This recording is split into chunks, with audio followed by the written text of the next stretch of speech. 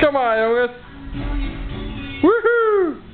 Last Christmas,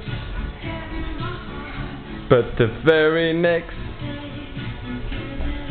Get it away.